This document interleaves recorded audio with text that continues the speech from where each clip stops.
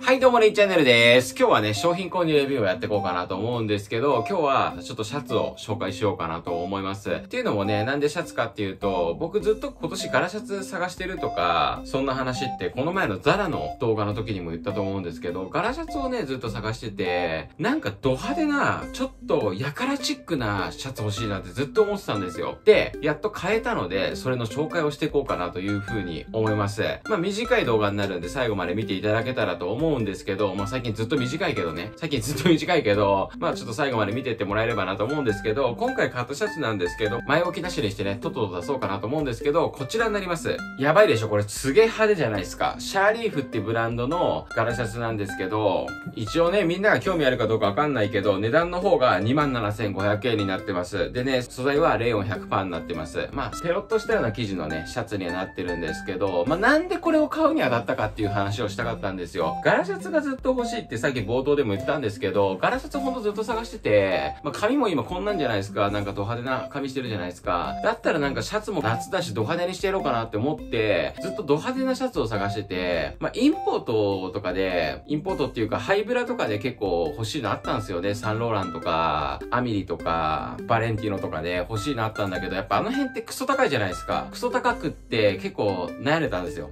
10万オーバーとかだったんで、悩んでて、なんかねえかな、なんかねえかなってずっと思ってたんですよね。で、ドメスは全然見てなくって、で、あるテレビ番組を見て、とある芸能人がね、これ着てたんですよ。で、これなんかどっかで通販で見たことあんだよなと思ってて、あ、あれだと思って、探したらまだ売ってたから、これ買っちゃったっていう感じなんですよね、経緯としては。芸能人着を久々に買ってみたみたいな感じなんですけど、なんかその着てる姿を見たら、なんかこいつすげえいいなと思って買っちゃったっていう感じです。まあ値段もね、その、ハイブランド買うつもりだったから、予算的にはね、まあ、あるじゃないですか。ハイブラとかだと10万とか超えてくるんで、ガラシャツとかだと。それ考えればまあいいかなと思って、2万7千円ぐらいだしと思って買ったっていう感じですね。で、なんで長袖なのっていう話なんですけど、長袖しかこれないんですよ。どっかの別注で半袖は確か出てるんですけど、基本のレギュラーは長袖しかないものになってるから、まあそれはしょうがないんですけど、ロールアップして着ればいいかなと思ったんで、それは全然いいんですけど、こいつのね、いいところっていうと、まずこの柄ですよね。ド派手なプリント。ド派手なプリントがむっちゃ良くて気に入ったっていうのもあったんですけど、あとはシルエットも気に入ってて、定番のね、ビッグシルエットなんですけど、ドロップショルダー仕様の長袖シャツになっていて、結構かなり肩ががっつり落ちるようなタイプのシャツなんですけど、他にもね、結構襟がしっかりしてたりとか、そのの値段に対して作りはしっかりしてるなと思ったんで、今回これいいなと思ったんですよね。写真で見てて、なんかすごいしっかりしてそうだなと思って買ったら、買って届いてみたら、実際結構しっかりしてたんで、改めてね、いいなと思って動画にしようかなと思ったんですけど、もともとはこれ動画にするつもりなかったんですよ。動画にするつもりはなかったんだけど、なんか、ガラシャツって結構大人の方とか嫌がる方とかって結構いるんですよ。いるし、そのせっかく夏だったら、なんかそういうド派手なものとか楽しんでもいいんじゃないかなって話ができればと思って、で今回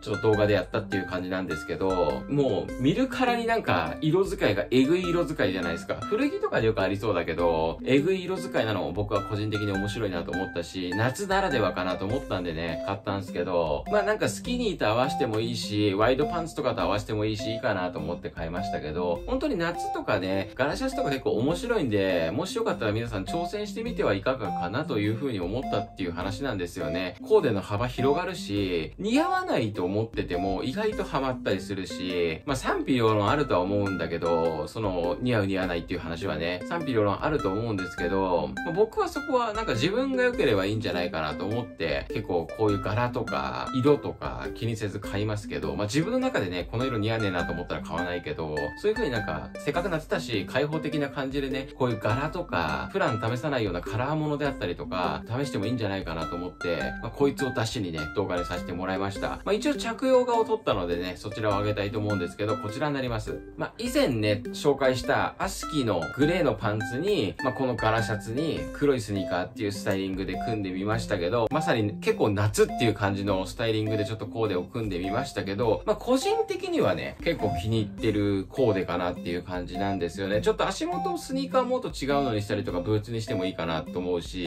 サンダルとかにしてもいいかなとか思うんですけど、個人的には結構気に入って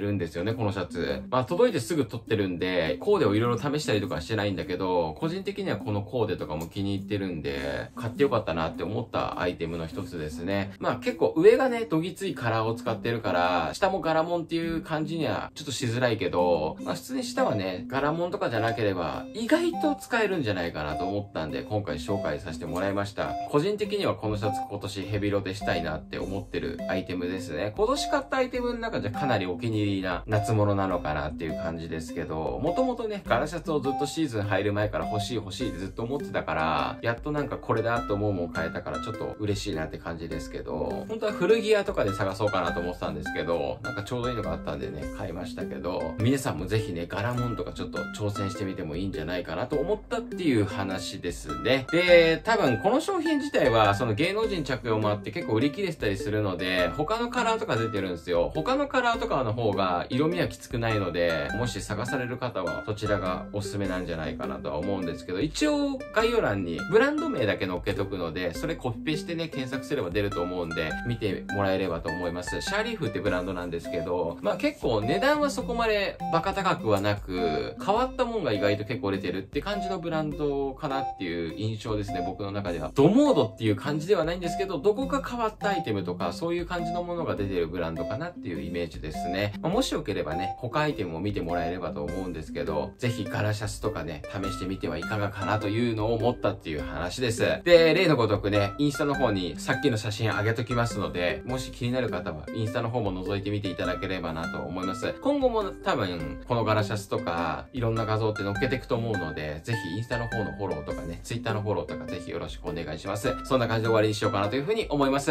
で、いつもお願いしてるんですけど、グッドボタンのチャンネル登録よろしくお願いします。今回これで終わりにします。ありがとうございました